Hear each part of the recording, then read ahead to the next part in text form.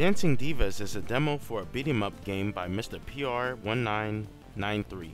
It has four playable characters. The one that I find myself liking the most was the big body girl named Bahati.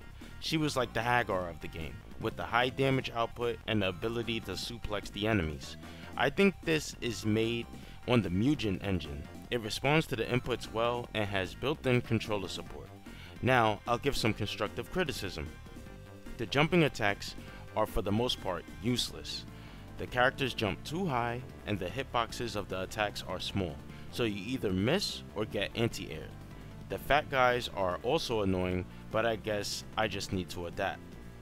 On the positive note, there are four unique characters, some dialogue between the heroes and the bad guys, and the beginning of the second stage has you driving a car and dodging barrels. I thoroughly enjoyed this part. I played to the end of the demo, so I'm just going to say that it's good. This is actually one of the entries for Sage 21, and I guess I must have missed it because I didn't even see it. Anyway, give the author a follow on Twitter and try the demo out yourself. Thank you for watching.